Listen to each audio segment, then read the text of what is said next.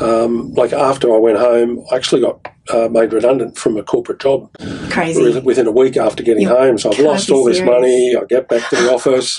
Lost say, your livelihood. Sorry, Greg, you haven't got a job anymore. And it's like, oh, and uh, oh, but I got a nice payout. Got a golden good. handshake? Golden handshake. I've been in the job for twenty years, senior position, so I got a got a decent quid. Um, and Tell me uh, what you did with that. Well, yeah, I, I went out and hired Jimmy Barnes.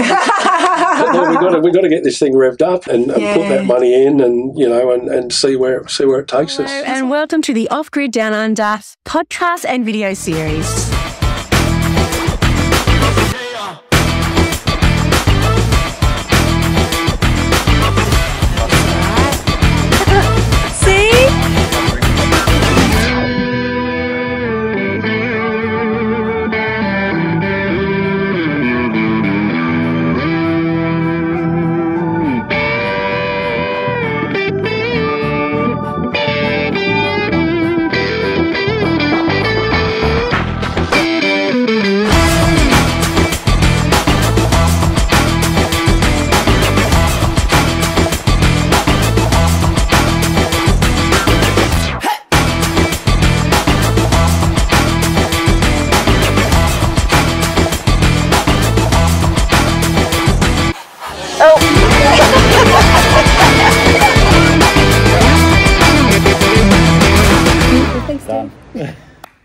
Guys, Melissa here again from Off Grid Down Under, and I'm super excited because I have a really special guest. Somebody who I met many years ago, actually, when I went out to the Big Red Bash. I think my first one was 2015, but we'll talk more about that in a minute. We've got Greg Donovan here from the Big Red Bash, and I'm just so um, delighted that you agreed to be on the podcast and really want to get to know a lot more about you in the coming little time that we have together. That's great. Yeah, looking forward to having a chat. I know, I know, and you are a chatter, which is really great. And I'm a chatter, so we're in big trouble. anyway, so yeah, just I'm not going to do the intro. I think you've probably got the intro down pat on what you do.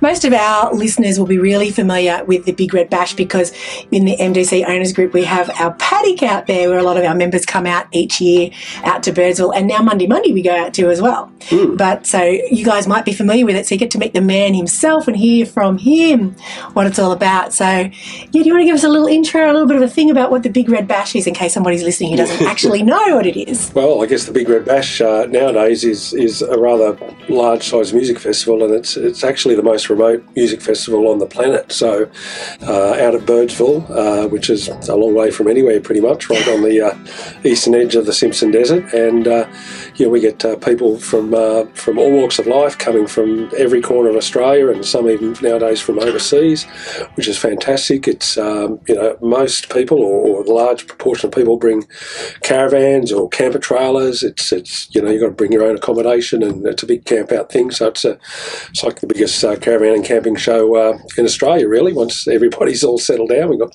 thousands of campsites and some amazing uh, music from fantastic artists. I know, and I was going to say that, so we can touch on that straight away. Is that it is really a big celebration of Australian music, which is um, incredible. Have you ever had an international act ever, or is it all just truly Australian? Well, um, this this year we've got uh, Tim Finn, so he's probably a Kiwi. You want to call him an We claim him, don't we? Sort of claim him, but Yeah. no. Look, at it is a celebration of Australian music. I mean, it's in an iconic Australian setting in the outback. You know, Mm. at the Big Red Dune, and you know, it's true Australian uh, sort of setting. And uh, we just think Australia's got so many great artists that Mm. you know that we want to keep this as, as a true Australian um, uh, celebration of uh, you know of music and culture and camping. So yeah. I love it. So I know a little bit about a little bit about your background, but I don't think you don't talk a lot about how it all originated, where it all started.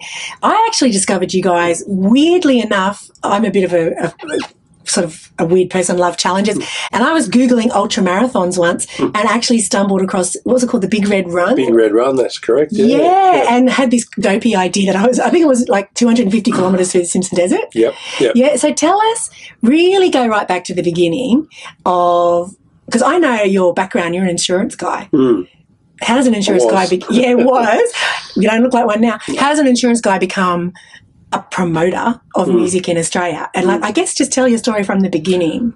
Yeah, well, I guess, I guess from the very beginning, I was I worked in the insurance industry and banking for many many years, uh, probably um, you know, thirty five years in those industries. So you're a suit and tie guy. Suit and tie guy, senior Yeah. sort of position, you know, uni degree, master's degrees, all this sort of stuff, and uh, working in the uh, big corporate world, um, you know, and uh, and probably uh, around 2008, 2009, uh, my young son Steve um, got type 1 diabetes, and I was going through some tough times myself with work and other things going on, and you know, all of that sort of stuff really got on top of me. And um, you know, I'm, I'm working in the corporate world. There's a lot of pressure, um, you know, so that led to some, you know, some sort of, I guess, you know, mental health challenges for me um, that, that I needed to deal with, and um, uh, so, so I guess from there, um, you know, that that went on for a couple of years, and it was, you know, it was a really low point in my life.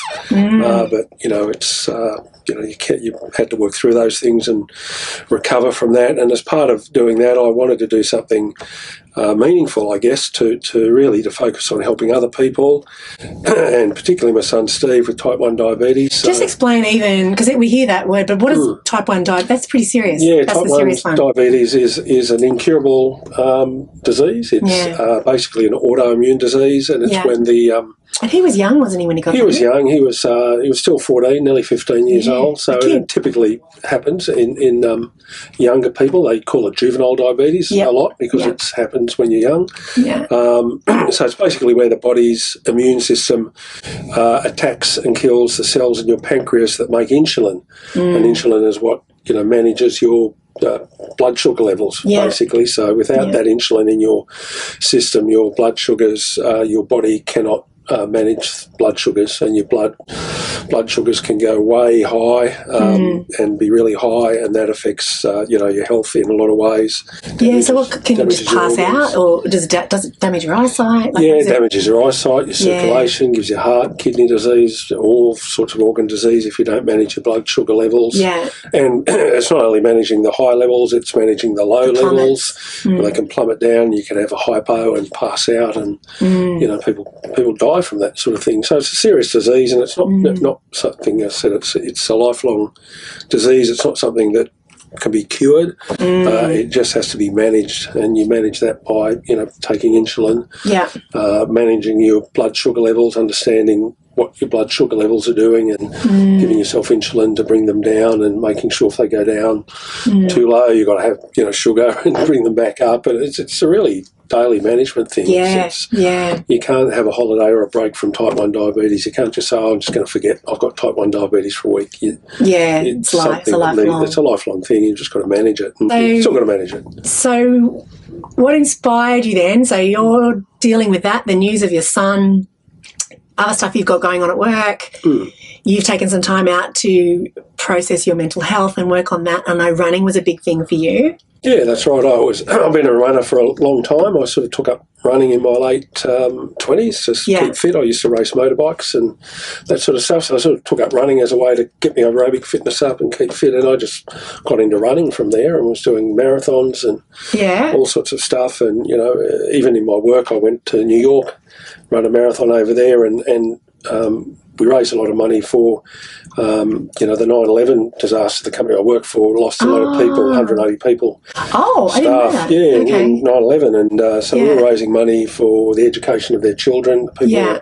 lost, and to help all of that. So I sort of saw that you know you could use running and challenges to to raise money and to do something like that. So you know I thought, well, let's have a look at some really major challenges Yeah. uh, and uh, running challenges and see see if I can participate in those and use those to raise awareness and funds for for type one diabetes. And ultimately, Amazing. that's that's what I decided to do. And And what did that look like? uh, well, it looked a bit crazy. Yeah. so in 2011, I came up with a plan um, to run a series called the Four Desert Series, which Yeah. involves running 250 kilometres uh, across uh, various uh, a desert, and they did four deserts across the world. They did one in uh, Chile, the Atacama Desert, and one in China, the Gobi Desert, um, the Sahara Desert, and uh, also Antarctica, which So you go from the Sahara, which I can imagine. What were the temperatures there like when you were? 45. it was crazy. Probably yeah. at night time. Yeah, yeah. And then you're in the Antarctica. What Yeah, are the that- temperatures there? Oh, minus 10, you know. Wow. Uh, we were there in the, their summertime, so. So you did those four deserts in one year, yeah, in one raising year, funds, Raising, funds, money. yeah, raise, raise a, a really good amount of money for type 1 diabetes and Yeah. awareness. And uh, so from there, I wanted to, uh, seeing how these desert runs really were quite inspiring events and Yeah. engaging people and bringing Yeah. people from around the world to run across these deserts. I just decided, Yeah. well, we really need So a seed know, was sown. Yeah, I really need to, you know, do something like this in Australia, start something like this up. So we had nothing. No. we had sort of- nothing. We had none, no, no runs of that style in Australia. Really? Okay. So yeah, we decided to start up a run, and uh, that became the Big Red Run. And the idea was to keep this fundraising going for Type One yeah. diabetes. And where? So where did you look at? What were some of the sites you looked at? Oh, I sort of Run? really looked just at Birdsville. just We were knew. looking at, you know, we wanted a desert that was well known. So the Simpson Desert was, yeah. you know, uh, an iconically well known desert in Australia, and Yeah. we needed somewhere where there was a sort of a bit of civilization near the desert. If you And- could call Birdsville civilization. yeah, Birdsville civilization. How many people there. live in Birdsville? About 100 people live Yeah, in Birdsville. I love it. I mean, it's got the famous pub. It's Yeah, got the famous pub, races. Yeah, and the bakery. and Oh, the bakery is super famous. Yeah, camel pies. I know, and a yeah. beautiful cricket oval. That's right. That's yeah, about it. Yeah. So we decided to base this running event in Birdsville, Yeah. and we had the starting line actually right outside the Birdsville pub, Did you? and the finishing line at, outside the Birdsville pub. So Oh. basically, you left from the pub, you run out into the desert. Uh, the first day was a 42 kilometre run from Birdsville across the dunes Yeah. out to Big Red, where we camped there, and then we ran various parts of the desert from there over the over the next six days. So. Wow. And then the last day was just a small run from, from about 10 kilometres on the outskirts of Birdsville back to Birdsville, Was that finishing at the hotel. 250 k's? 250 Total? kilometres altogether. So, yeah, we, we started that up and we attracted, you know, runners from uh, around Australia, even some international runners came out. And That's amazing. What um, the event What year and- was that? uh, that was uh, 2013 was the first run. Amazing. And so we, we did that, and uh, we, we, we uh, the Big Red Run went for a period of six years through to 2019. We Mm. don't do it anymore, uh, but we during that period we raised you know about one point over 1.1 million dollars for juvenile diabetes. That's incredible. And what I want to say too, from my understanding, correct me if I'm wrong, you self-funded this. Like this, you put your own money into this to make it happen. Yeah. Yeah. I mean, you might have had sponsors or something, but you definitely put a large chunk of your own money into that. Yeah, look, it was something that um, you know I, I invested in heavily. The, the money Mm. that I had, um, yeah, I sort of backed. And you had a I backed the family and a vision, had wife. family and a wife and Yeah. a job, a corporate job. Yeah, you were know, still was doing the still- insurance gig. insurance and all that. So you know, it was there was a lot going on, and it was a you know, Yeah. it was just you just had to keep putting on the money because these things don't run Who's gonna- themselves. no one's gonna back it. No one's going to back it. And, Yeah. you know, we have very little sponsorship. Um, Yeah. but, Fascinating. you know, it, it, uh, it's just something that, that that I had, you know, felt, you know, that I wanted to do. Do you think you had a calling? Do you feel? Do you? I'm a bit woo woo. Do you think you had some kind of like actual calling that you did, like a obsession almost that you had to do this? Do you think it was that deep, or no? You just you're just that Yeah, kind look? I think it was a bit of a, an obsession. You know, I really wanted to do something to make a difference. I wanted to do something different. I wanted something I could really focus on, something that was a challenge, something that was not Mm. easy. Put your mind to and try and, and achieve something and, and, And give back. And give back. Yeah. And, and, you know, that's that was the whole purpose of the thing. And I could see a longer term, you know, a longer term picture in, in it as well. But um, Mm. and that sort of so- sowed the seeds to um, to uh, for the big red bash. And there was no intention of like we didn't never went Yeah. out to Birdsville with any intention of having a music festival Yeah. or doing anything remotely like the big Yeah. red bash. Like you would have to have rocks in your head to go out and plan to do something like that. Think it's Yeah, it's such a leap. Something something like that might work. It's So how just- did it evolve? What happened? well, it's just really part of the run. Yeah. Uh, the first year of the run, 2013, we had um, John Williamson come out Mm. Yeah. as part of celebrating us starting up this run. Such an icon. How did you get him? Well, we had contacts who Yeah, knew John cool. Williamson, and we got in touch and said, "Look, you love, you know, we'd love you to come out and play on the Big Red Dune." he had just brought out an album at that stage called That's convenient. called the Big Red. No, Uh, no. yeah, it did, and it, It's had meant an to be. called the Big Red, which was not just about the Big Red Journey; it was about the middle of Australia and travelling the outback. So we thought. so symbolic. Mm, absolutely, and Yeah, uh, yeah, he, he agreed to come out um, and play in the Big Red Dune, and uh, it was really something just for our runners and our volunteers. Part of the Big Red Run, it was going to be a Yeah. little part of that, but uh, you know, the Bush Telegraph gets out, people go, "Oh, here John Williams is coming to play on the Big Red Dune. Can we come and watch?" You know, it's something to be pretty special. So And we actually perched up on top of Big Red. yeah, perched right on top of Big Red, and uh, the little amphitheatre up on top of Big Red for people who've been Perfect, there. know actually. perfect setting for it, and um, yeah, so we got we got him up there, and you know, people just kept contacting us saying, "Can we come?" And I thought, well, yeah, maybe what, what, well, let's you know, let's offer some tickets. We'll put some tickets for sale, and Yeah, uh, because it's more fundraising, isn't more it? Mm. fundraising, more funds, you know, and also covering some of the costs of putting it all on. And uh, Yeah, yeah. so so we sold a few tickets. You know, I can't remember how many. Would have been maybe a couple of hundred tickets. So Pretty good. well, For the great unknown. Yeah, for the great unknown, and um, yeah, so and that, and that that was it. That was sort of as far as we got. And uh, afterwards, there was just so many people going, "Well, isn't it fantastic to have this sort of live music, Australian music, out Mm, in this desert environment? It was so unique and different." yeah, truly. um, yeah, then then uh, that was sort of that's when the little light bulb went on and thought, well, maybe we can do a little bit more music. It seemed to be quite popular. yeah, so what Certainly more popular than running 250 kilometres Yeah. through the desert.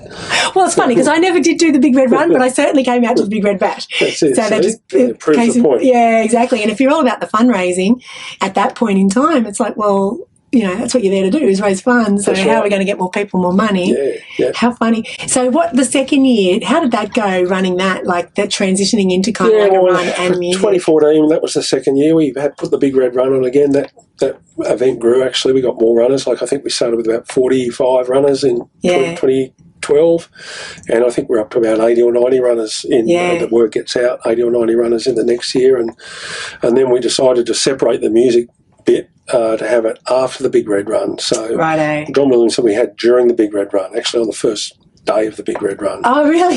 Got it all wrong. So it was, Yeah. which was really manic because we're trying to manage this run and we're trying to manage it. Everyone's trying to think music about sleeping. Yeah, Yeah. so it was really yeah. So we thought, oh, we'll, we'll do the big red run and then afterwards we'll put on a little two day festival Yeah. and uh, and then we start. You know, so we've got a whole bunch of artists over two Yeah. days. We got John Williamson back, and then we got Kasey Chambers and really? That early? James Reyne and Daryl Braithwaite. That and, you know, early? oh yeah, all these people, and, and it was really very basic. We sort of the stage we set up was really small, and everything was really just really basic.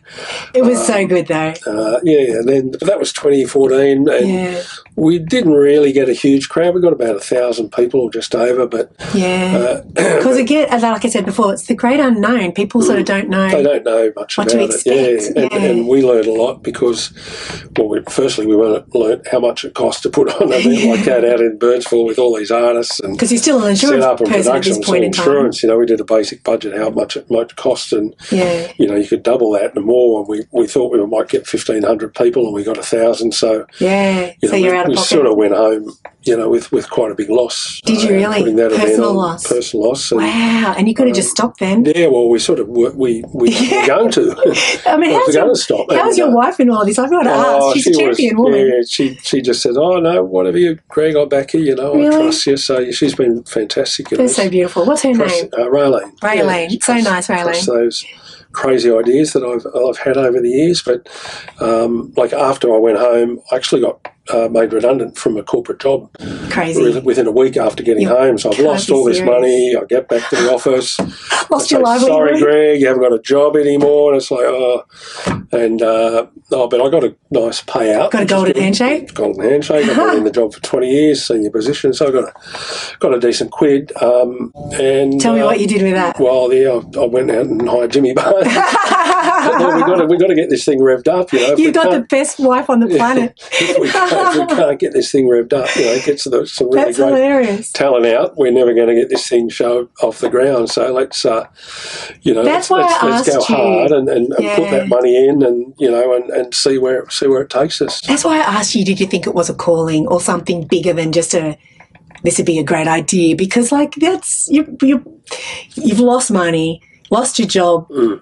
got a got a bit of a, you know, Yeah, payout. a payout. which is like, okay, everything, life's good again. Mm. Yeah, And you're like, I'm just going to do it again. Yeah. I think I can do it better next year. yeah. Well, That, where does that come from? Where does that kind of belief, self belief, well, come from? Yeah, I guess you, you, you learn things as you go along and go, well, you know, what am I going to do differently to make this work? You know, I need to invest more money. I need to do a lot of things differently and managing manage it differently. Um, and sort of by that stage, I was um, how old was I? I'd be like fifty three years old by then, and Yeah. been in the corporate world since I was eighteen, so thirty five years of. And, and you know, by that time, you're sort of over.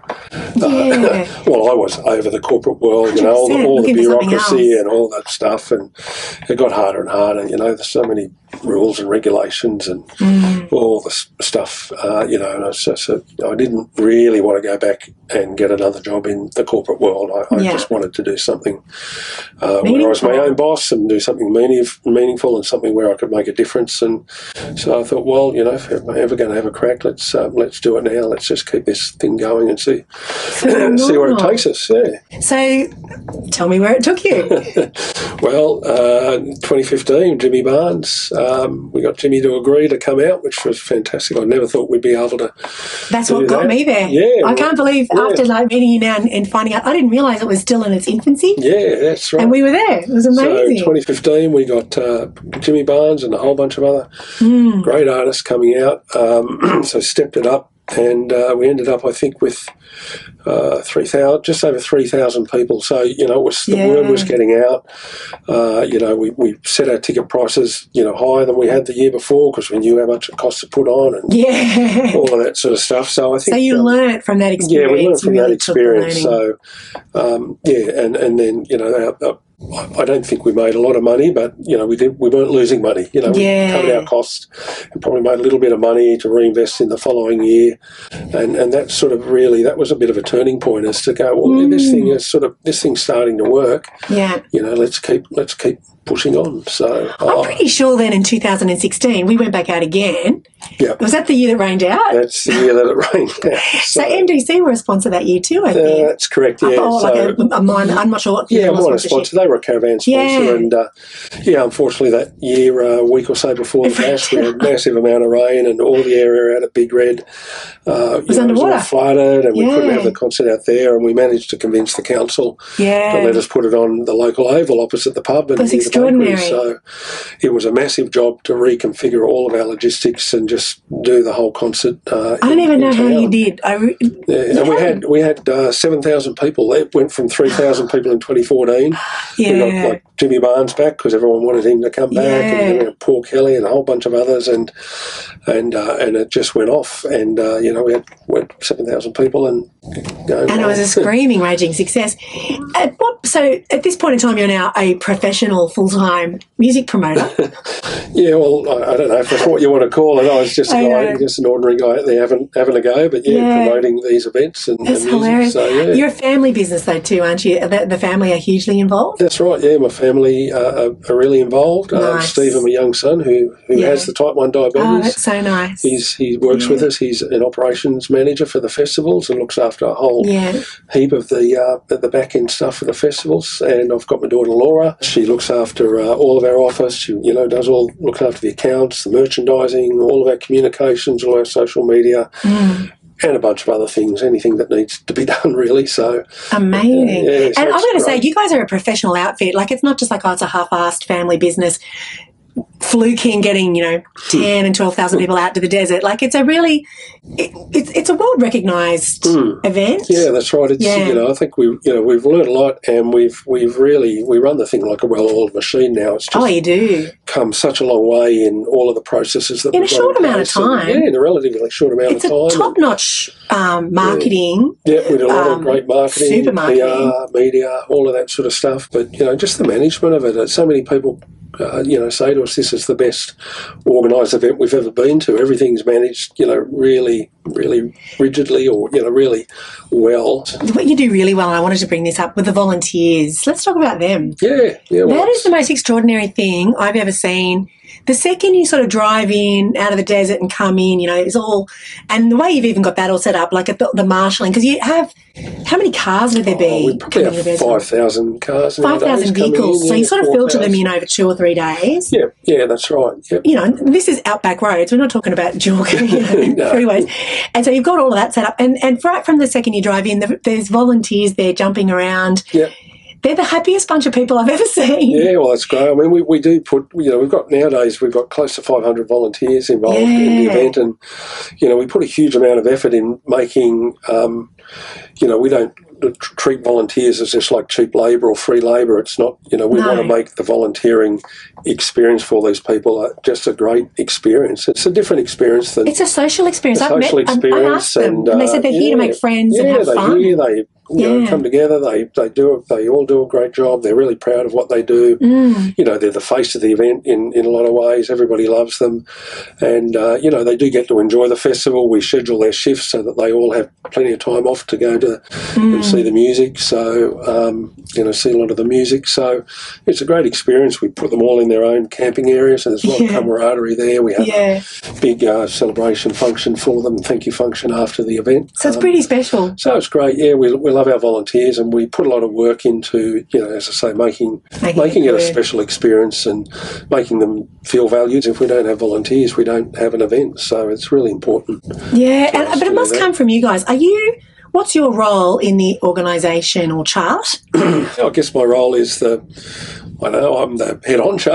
Yeah, if you CEO. like, You are the the- CEO. yeah, so you're uh, driving it. That's what yeah, I'm I'm trying to get at. driving it. drive yeah, it. I'm driving it day to day. But there's a lot of uh, really well skilled people uh, as part of the team who look Mm. after a lot of the logistics, the production, But it's your uh, leadership, I guess, at the top. risk management. There's all sorts of stuff. Yeah. Yeah, that's right. I guess it's you know I'm I'm ultimately in charge. The, the buck stops with me, and uh, Yeah. yeah. but I'm I work on the event year round, day to day, and uh, get involved in all the details. What's great is you're so hands on. Like I've been to three Red Bashes and one Mundi Mundi, Yeah, and um, which we'll talk about in a sec.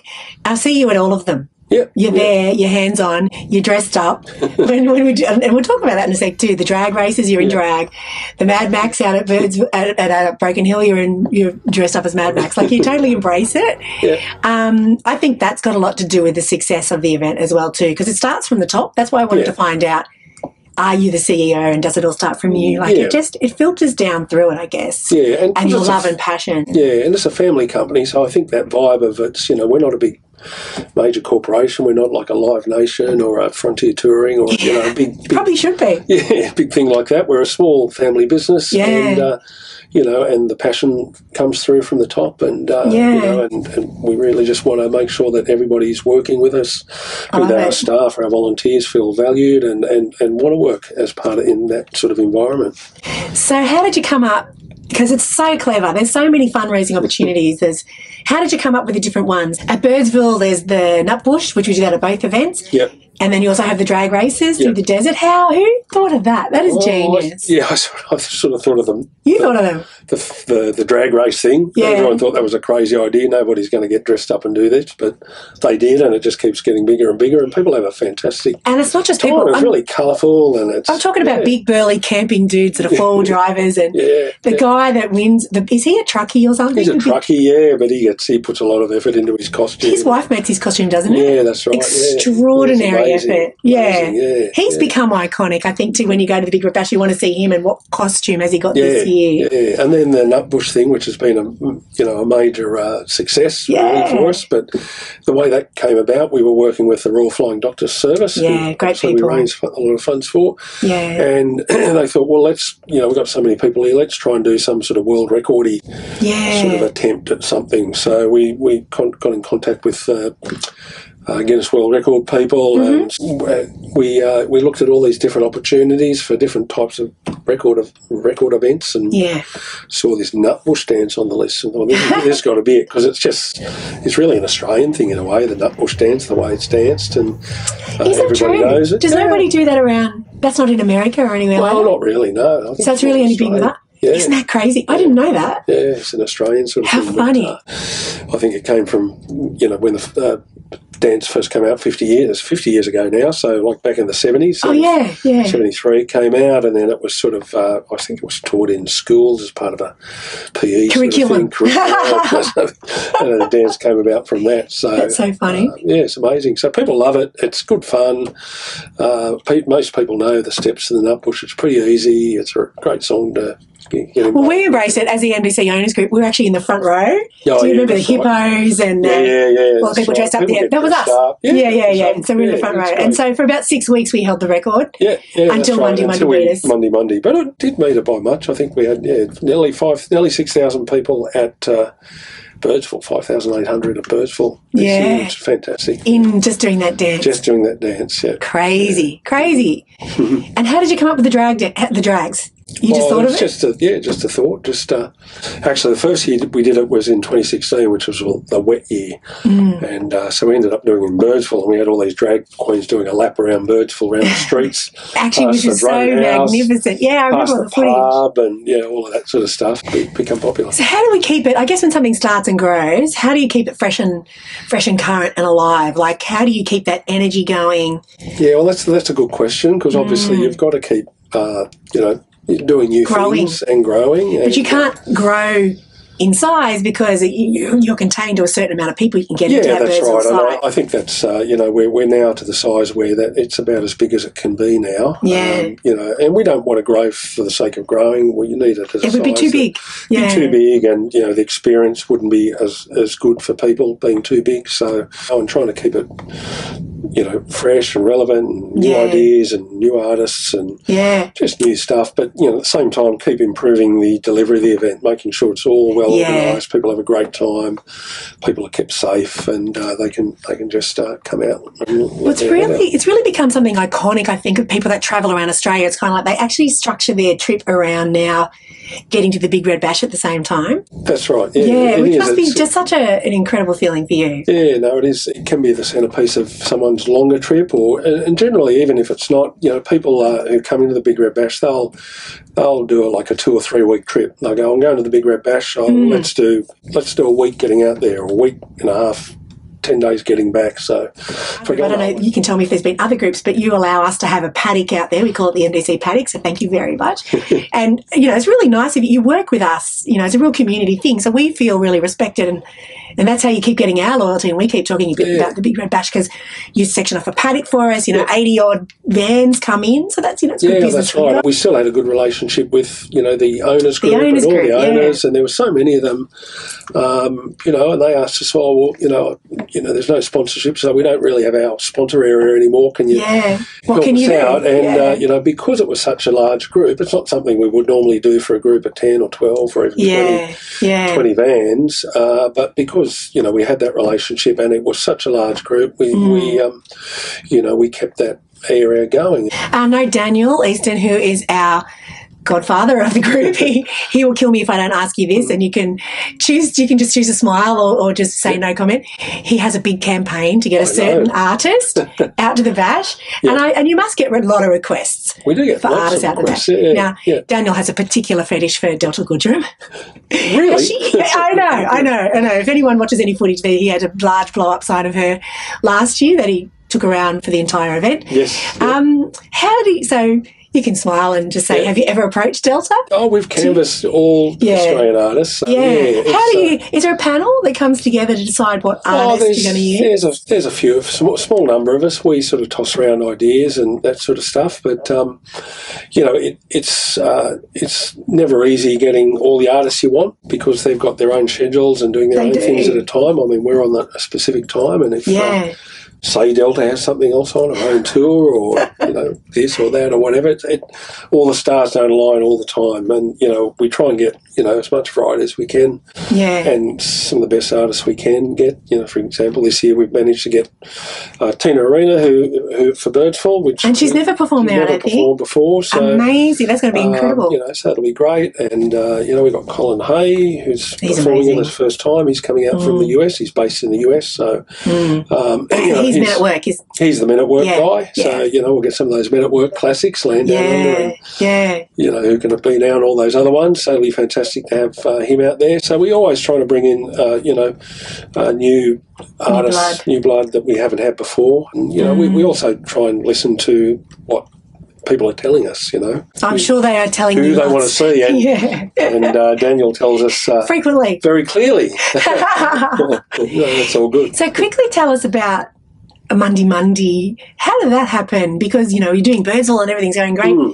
How did the the Mundi Mundi thing out at um, Broken Hill get put together? Yeah, well, I guess with uh, Birdsville growing as it has and reaching sort of its capacity and becoming so successful, and us building, you know, I've worked, you know, for, for over the years to build a really successful event model and process and that sort of stuff. We we sort of thought that it's, um, you know, it would be a good time and a good opportunity to do something similar in, um, you know, another Yeah, classic outback location. and it's And- such a good location. yeah, it's a great location.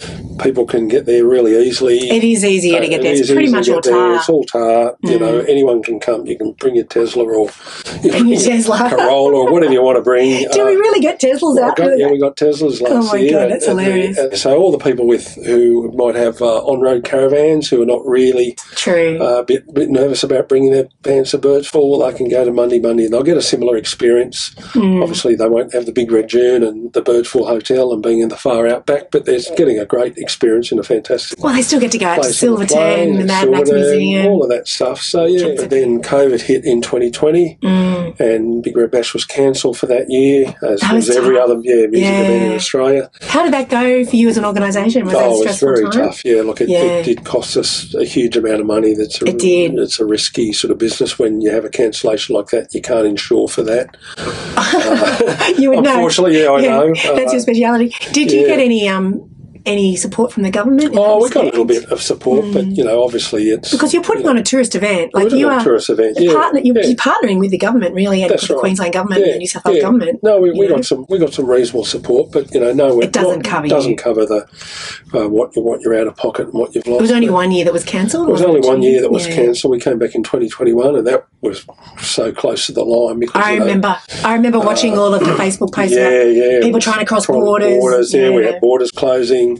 But when COVID hit, we thought, well, we've got really nothing to do this year. Let's really now use that time to, To focus on uh, getting everything up and ready and building Mm. everything so that we can launch uh, Mundi Mundi once COVID, uh, you know, once we get through COVID, then we'll Yeah. have this new festival that we can launch. And let's, uh, uh, we've run three events now out at Mundi Mundi. We run, Mm. or the first one in 2021, that was going to be August, just after Big Red Bash, but it was uh, postponed because Yeah. the Delta wave had hit. Yeah, Uh, Delta. Delta, there So- you go. that was for you, You Daniel. know, everyone everyone was in lockdown again. All the Yeah. borders were closed. It was all of that stuff. So we postponed that event till April 22. Mm. Uh, but we still wanted to have our normal August event. So we had actually had two Mundi Mundi bashes in 2022. And I think that's what I love about your events too. I just want to say that, give you guys a plug, is that really good people attend. It's not Mm. a music festival full of, oh no, you know, no. groovy, trendy kids. Yeah, yeah, like yeah, yeah. people, I'm in my early 50s and I felt young, Yeah. you know, but there's, but then next to me could be a kid as well. Yeah, yeah, yeah. And It's then, very- and then there's a grandparent, you know, it's just such a very family beautiful friendly. Yeah, it's not a, it's not what you would call a youth festival, which might be No, something like a Splendour in the Grass safe. or whatever. And it is. It's safe. I mean, Safe, it's civilized, but you can get into the mosh if you want to and have yeah. fun. Yeah, well, people don't, you know, so we've got a mature, fairly mature demographic, people from Yeah. their generally 40s, 50s, 60s, and whatever. Of music And lovers. Music lovers, but, families, lots of Yeah. families. We've got, you know, we probably, probably have close to 2,000 kids Yeah. under 18. So And dogs, it's really safe. Dogs, dogs, you know, yeah. bring your own grog, bring your own dog. kids, and like it's being in Birdsville, people don't come that whole distance to, to muck around and misbehave and cause trouble. It's No. such a, a, you know, such a respectful crowd who all do the right thing. They really There's do. Never any, never any drama, so people can feel safe. And, Even when you everyone's milling back, you know, because it all finishes probably about nine o'clock, nine thirty. It wraps up because it's yeah, cold. yeah, it's cold. We, So- we actually try and finish by sort of eight thirty at night. You know, generally. Yeah, and Yeah. it's been going all afternoon and night, so you're happy for it to end then. Yeah. And everything's signposted, and it's uh, what do you do when people lose their vans? How do you Uh, help those people? Because I, I was taking Yeah. photos of landmarks and flags Yeah, on things, yeah. and I mean, I never of- lost mine. Well, I mean, we put really good signage up on every intersection. Uh, we give them an app where they can sort of mark where their van is. Yeah. You don't- internet on your app, you can just see where your van is. Um, you know, we advise people to sort of have a plan Be to get back to mindful. their van at at night. You know, Yeah. like have a landmark or Yeah. know what street it's on. You know, because you've got like a walking path and a street. So no. Yeah. yeah. Look, I mean, when people are a bit careless and just don't really pay much attention to where their van is, it can be a bit hard to find it. I Like suppose it's when you go shopping centre, Yeah. yeah. 40 night parking, which shop, you know. Yeah, pretty funny. But, uh, yeah, but people, they, they, they all eventually get there. What's your favourite? You must have a couple of real top three moments, emotional moments of running the bash. What would they be for you? Uh, I think, well, this year we did um, a new event called Big Blue Day. So we brought all uh, to get back to raising money for type 1 diabetes. We got everybody dressed in blue. We formed Yeah. the big shape of Australia. beautiful. Set a new new world record for Yeah. the most number of people, you know, forming a shape of a country. We had John Williamson there, us sitting out Yeah. in the middle, singing True Blue. Yeah. That was really special. You know, I think just getting through 2021, the amount of challenges that we had uh, to, to pull that event off. We were the first big music festival in Australia and just about the world to come back after COVID. Mm. Um, so for us to be able to do that and pull that off Uh, monumental. was amazing. While you know Sydney was in lockdown, borders were closed. The challenges that we faced yeah. every day in the lead up to the festival, the COVID rules were changing. So we spent half of our time Mm. trying to figure out how we comply with today's COVID rules and Mm. change again. And uh, so it was a massive challenge for the team. And uh, you know, at times we thought we're just not going to get this across the line, but we eventually did. So that was an amazing, you know, amazing sense It of really was. yeah. Any anything else? That's two. That's two.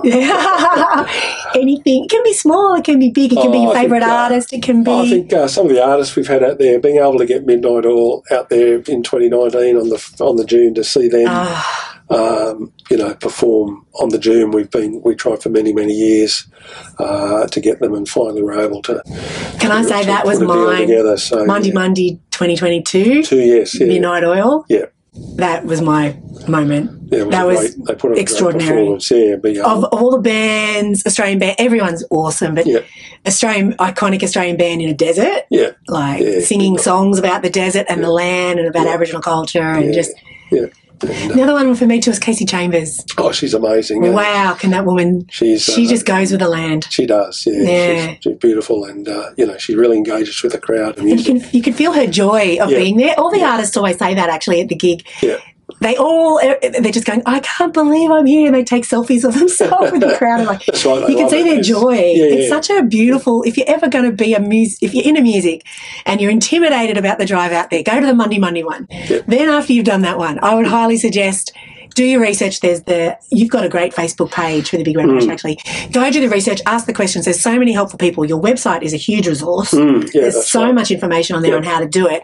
Driving convoy if you're not don't feel sort of safe doing those big distances on those sort of roads by yourself, but it's very doable. You can get out there in two wheel drive. Yeah, you can. Yeah. Yeah, it's doable. You just got to drive to the conditions and plan. Yeah, and uh, yeah. there's plenty of people out there to that'll give you a, a hand if you need a, need a hand with anything. You know, if you get into trouble, people are really obliging. And But it's just it's just not your average concert. Like every morning you get up, we climb up the top of Big Red, Watch the this- bagpiper, watch Yeah. the sunrise over over the the setting. It's incredible. Uh, I did yoga every morning. Yeah. Like up on the up on Big Red. It's Big just Red, yeah, it's nice, isn't it? The, the kids are just like coming down on surfboards and stuff. It's just the most beautiful environment and atmosphere, and you meet so many people, so many friendly people go to these things. It's Yeah, that's right. The crowd, are, yeah, you do meet amazing people. They're really good people. it's more than just a uh, music festival. Yeah, that's right. It's a So much gathering. more. Yeah, it's a great, unique Australian gathering, isn't it? Yeah. Did you ever, in a million years, look at your life right this minute, like say 15 years ago, and have a clue this was in store for you? Not at all. That's like who would have thought? This Because you're a pretty ordinary guy. Yeah, this- this sort of but you're not. guy. Yeah, but you're not. It- It's just crazy. You look at it and you go, Yeah. well, you know, how did this all happen? And it's a, it's, it's a bit of a I'm going to circle back around to that because of I'm interested in that. thing. Yeah. No, it's not. Yeah. What is it that's different about you than other people that you think that pulled this off? Because this isn't. You had you've had challenges.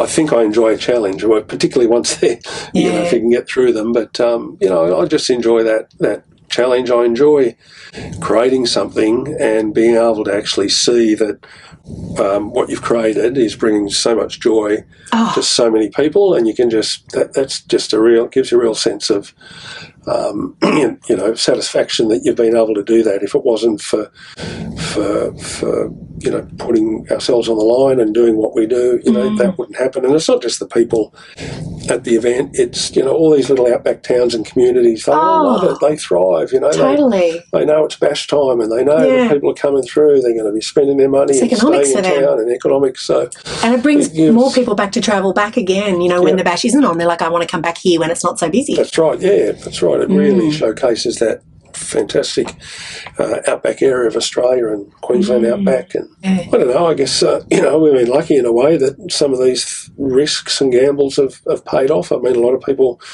go into business and put it all on the line, and, and for whatever reason, it, it doesn't work and it fails. And this could have quite easily ended Well, up it kind of did, It but you came, did, but you yeah, just, but but you didn't, ex- didn't, you didn't yeah. accept failure. No. Failure, it wasn't failure. No, no, that's, It was just a learning experience. yeah, expensive learning a very big learning experience. big- but the universe looked after you by gifting you more money, your money, Well, yeah, yeah, yeah, all right. your money. Yeah, yeah. But so tell me, we'll sign off on this. What's for the future? Are there any any little surprises coming up, or any any future festivals you've got in the back of your mind? No, look, I think it's uh, these two festivals are, are pretty much it. They Yeah. keep us going full time. They and, do. Uh, you know, you don't want to make the straw that breaks the camel's back, so to speak. Yeah, uh, we just want to make the continue to make these festivals. You know, keep them relevant, keep them keep them great, and uh, just just keep them going. Oh, look, it's just such a privilege to interview. I I know I'm going to think of a hundred things to ask you in a minute, but if I do, I'll just uh, interview you when I'm out at the uh, bash this year because we'll be fine. heading out. The MDC paddock, Yep. we'll be out there. If you have an MDC or if you're friends of MDC, make sure you get in touch with the MDC Oz RV Owners Group. Find out how you can be part of the paddock that goes out there, and these beautiful people will actually set us up. I'm telling you, it's right near the front, as close as you can get, right behind the vendors. We are looked after. We have a beautiful partnership and friendship with your organisation, and find out how you can be part of it. And we'd love to see you out there. Yeah, we're looking forward to seeing the MDC group I out know. there again. uh, They're a colour, we're a colourful group. We're noisy. along with everybody else. So Yeah, with the other 10,000 of our friends. yeah. Thank you so much, Greg. Look, it's been a, truly a delight to interview you. Thank you very much. no worries. Thanks. It's been uh, great to chat. Thank you. Yeah. We really hope you enjoy listening in. Be sure to follow MDC on all of our socials. And if you want to like and share and visit the MDC website to find more of our upcoming episodes, we'd really love that. See you off grid and happy caravanning.